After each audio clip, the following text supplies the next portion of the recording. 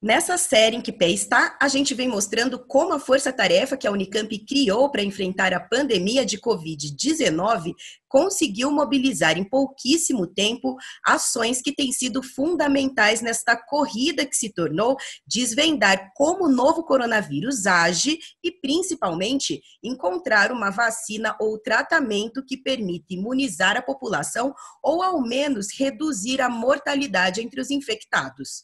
E hoje a gente vai saber como andam os trabalhos e pesquisas que vêm sendo realizados no LEVE, o Laboratório de Estudos de Vírus Emergentes do Instituto de Biologia da Unicamp, que é coordenado pelo professor José Luiz Proença Modena.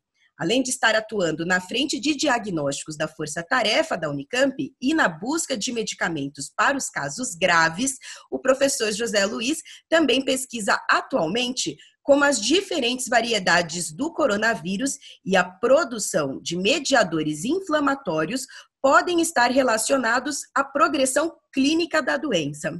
É, professor, antes de mais nada, obrigada pela sua participação. Queria que você começasse contando para a gente, então, em que pé está essa pesquisa? Vocês é, já conseguiram encontrar resultados relevantes que possam ajudar na recuperação dos casos graves da Covid-19? Juliana, eu queria de antemão agradecer o convite, é um prazer falar e comentar um pouco da pesquisa que a gente tem feito no laboratório.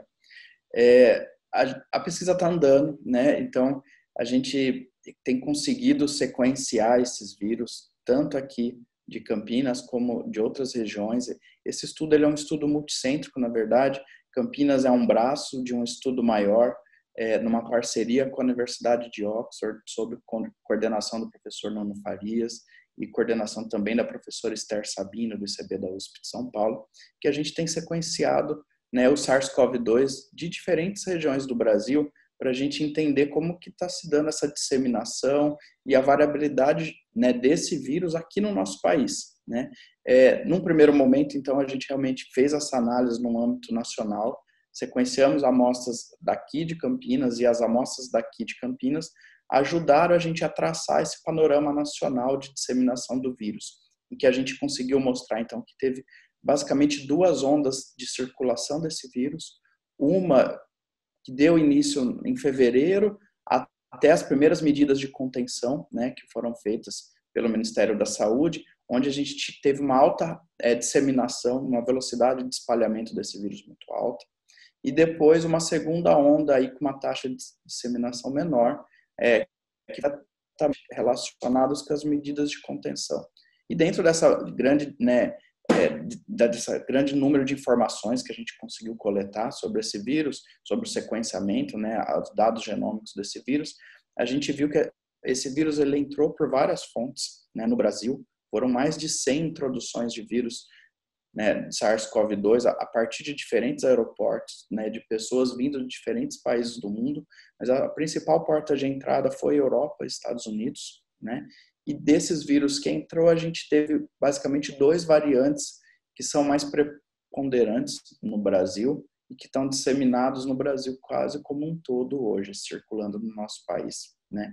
A relação dele ainda com doença, como a variabilidade genética do do SARS-CoV-2 do corona, ela não é tão alta, né? A gente ainda não conseguiu é, chegar em nenhuma inferência que nos possa mostrar algum fator viral que possa nesse momento é, estar correlacionado com o desenvolvimento de doença mais grave. Mas a gente está continuando a pesquisa e a ideia agora é aumentar esse N, né? A gente conseguir ter pelo menos uns 500, 600 genomas sequenciados de Campinas para a gente conseguir entender esse padrão de disseminação, de filodinâmica, de evolução do vírus em Campinas, e aí dentro de um núcleo mais controlado, que a gente tem acesso é, profundo aos dados clínicos dos pacientes, que a gente possa então buscar se, se aqui, pelo menos na região, a gente teve algum variante viral mais comumente detectado em pacientes graves. Entendi.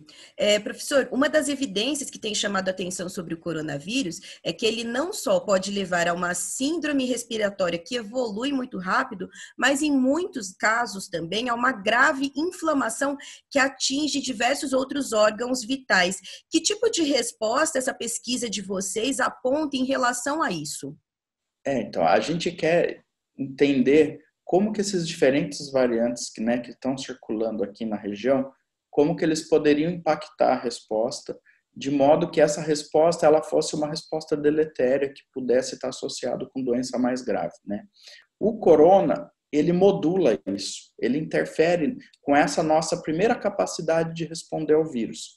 Ele gera uma inflamação muito acentuada nesse primeiro contato. E essa inflamação gera um padrão de resposta que tende a ser deletéria, porque ela é tão intensa que ela contribui para o dano tecidual que o vírus está causando. É um quadro que a gente chama de tempestade de citocinas, né? E quanto mais forte essa tempestade de citocinas, a grosso modo, é, pior é o prognóstico da doença. De acordo com o que vocês já conseguiram aí desvendar, é possível que esses diferentes quadros, quadros clínicos que o coronavírus gera, que vão aí desde o assintomático até o óbito, é, e um óbito que às vezes acontece muito rápido, como a gente já disse, é, possam estar relacionados às diferentes variedades do novo coronavírus que já foram identificadas, ou é mais provável que a gravidade da infecção e a progressão da doença esteja mais associada às doenças pré-existentes, ou mesmo a características genéticas dos infectados? Eu acredito muito nos vírus, né? Então, por isso que a minha a objetivo dessa minha pesquisa foi estudar realmente essa diversidade e essas variantes virais e como que eles podem impactar nessa resposta. Mas ela não é uma resposta simples. É provavelmente a consequência disso é um evento dinâmico, multifatorial, que tudo isso está envolvido. Hoje, aparentemente, esse evento ele é mais de, determinado pelo como os hospedeiros né? Então está mais dependente da resposta imune que a gente gera e de todas as condições por trás disso, né? E aí está é, tá relacionado com a nossa história de vida, com a nossa história de infecções que a gente teve na nossa vida, qual o padrão de resposta que geralmente o nosso corpo é, normalmente vai desenvolver em decorrência de uma infecção por um vírus, a, o ambiente onde a gente vive, vive e muitas vezes a condição de tratamento que a gente vai ter, né? Decorrência é, dessa infecção. Tá certo, então, professor. Muito obrigada pelas informações e muito sucesso aí nas pesquisas que vocês consigam avançar ainda mais nos trabalhos. Obrigado, foi um prazer participar. Obrigada também a você que acompanha a programação da Rádio e TV Unicamp. Um abraço e até mais.